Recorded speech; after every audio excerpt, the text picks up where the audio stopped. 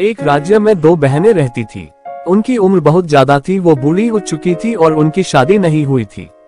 मगर उनमें से एक बहुत अच्छा गाती थी। एक बार वो गा रही थी, उसका गाना राजा को सुनाई देता है, वो गाना सुन के मधमुग्धा हो जाता है। सीधा आवाज़ की दिशा में उनके झोपड़े के दरवाजे के सामने आ जाता है और दरवाज़ा खटखटाता है। राजा को लगता है कोई खूबसूरत लड़की गाना गा रही है। दोनों बुढ़िया में से एक बोलती है, उससे शर्मा रही है, वो हर हफ़्ते उससे अपना एक अंक दिखाएगी।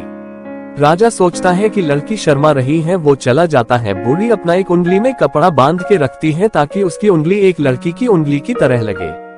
मगर कोई फ़र्क नहीं पड़ता, एक हफ़्ता बीत जाता है, राजा उन लोगों के दरवाजे के सामने खड़ा हो जाता है। वो बूढ़ी बहुत चालाक थी, वो अपनी बहन की उंगली दरवाजे के छेद के बाहर कर देती है।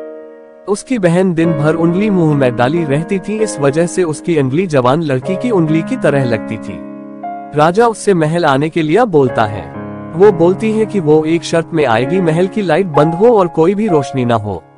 राजा मान जाता है, मगर उसकी स्किन जवान नहीं थी, वो झूल रही थी तो उसकी बहन ने उसकी स्किन को गोंद से चिपका दिया। वो राजा के यहाँ जाती है और राजा ने अंधेरा करके रखा था सुबह जब राजा की नींद खुलती है। और वो देखता है कि एक बूढ़ी औरत उसके बेड में है। और उसने बूढ़ी के साथ सेक्स किया तो वो उससे महल से फेंकवा देता है। मगर किस्मत से वो पेड़ की टहनी के सहारे बच जाती है। उधर से एक जादूगरनी गुजर रही थी, वो उससे जवान कर देती है। राजा शिकार करने के लिए निकलता है और उसकी नज़र उस पर पड़ती है और उसे उससे प्यार हो जाता है। वो उससे शादी के लिए प्रपोज करता है, वो मान जाती है। शादी में वो अपनी बहन को बुलाती है, उसकी बहन पूछती है कि वो जवान कैसे हो गई, वो बोलती है कि उसने अपनी पुरानी स्किन उतरवा दी। उसकी बहन इस बात को सच मान लेती है, वो लोहार के पास जाती है और बोलती है कि वो उससे सोने का हार देगी अगर वो उसकी खाल उतार देगा।